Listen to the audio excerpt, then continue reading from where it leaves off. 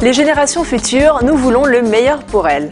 Voici une école modèle, un petit établissement primaire bilingue au fin fond de Paris. Un exemple pour que grandissent les futurs éco-citoyens du 21e siècle.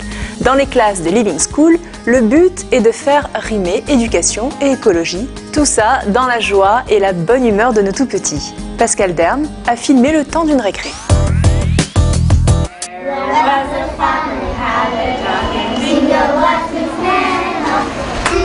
C'est dans ce petit établissement primaire bilingue que grandissent les futurs éco-citoyens du 21e siècle.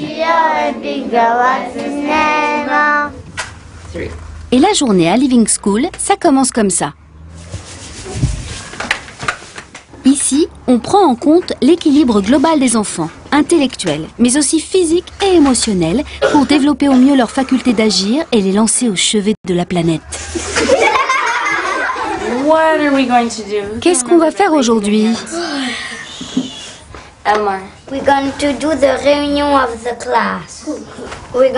Nous allons parler de nos projets. Quel projet? Les animaux, l'air, l'eau. Et puis après, on votera, on fera un vote pour le meilleur projet qu'on va travailler dessus toute l'année et qu'on va réaliser après. Alors, classe 4. Je crois que pour notre grande réunion, notre conseil tous ensemble, ce serait bien que vous preniez vos cahiers de vie. Living School est né en 2007 de l'envie de sa jeune directrice Caroline Sost après une formation à un master de management éthique. Moi, ce qui m'a toujours passionné, c'est les enfants, euh, la joie que j'ai d'être à leur contact et la joie que j'ai de leur apporter.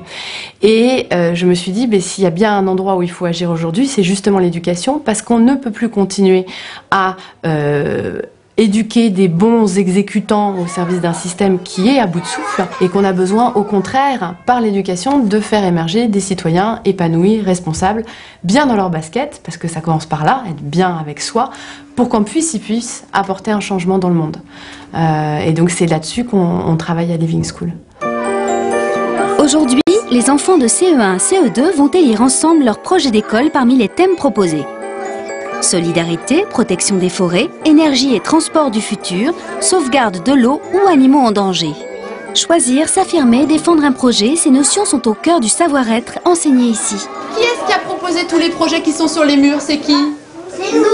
C'est vous. Et alors, est-ce que quand on est un enfant, on peut ou pas agir pour la planète? Oui. Bah, Bien sûr, on peut agir. Nous, notre projet, c'est de... C'est de... euh,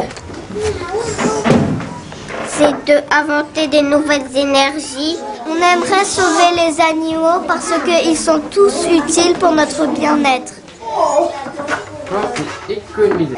And the winner is... Comme l'année dernière, c'est le thème de la protection des animaux qui gagne, un thème toujours cher aux enfants. Suivi par les énergies et les transports. Alors, pour les animaux en danger, hip hip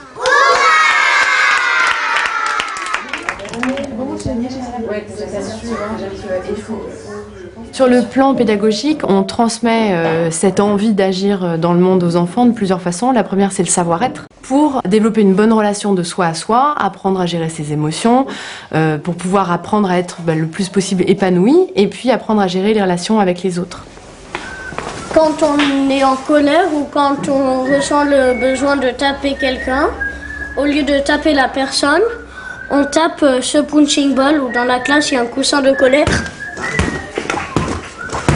pour sortir l'énergie que l'on veut pas.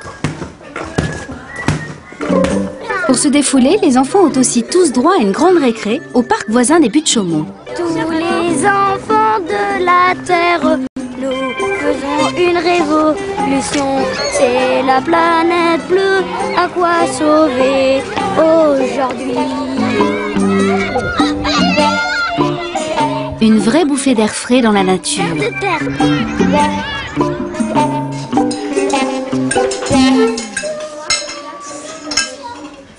Ensuite, c'est cantine.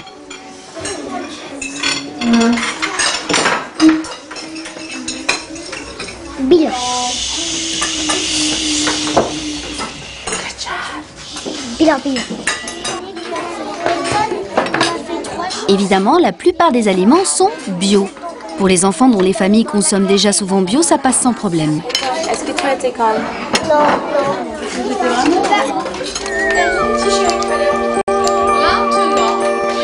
Retour en classe. Un petit éco-citoyen, ça doit évidemment être autonome, savoir lire, compter, écrire sur le bout des doigts et comprendre le monde, pour mieux y participer. Pour l'instant, notre école Living School, elle, est- euh, de fait fréquentée par des familles très aisées, qui ont les moyens de se payer une scolarité qui n'est subventionnée euh, nullement euh, par ailleurs. Donc on a un enfant boursier depuis euh, le début de l'aventure. Mon souhait, ça n'est évidemment pas de réserver ce projet à euh, une élite euh, financière, ça m'intéresse pas. L'idée, c'est de pouvoir réfléchir à comment démultiplier ailleurs et comment rendre accessible. Euh, et notamment, on va commencer par former des enseignants, de manière à leur apporter notre savoir-faire et notre savoir-être en la matière pour que ça puisse exister ailleurs. see.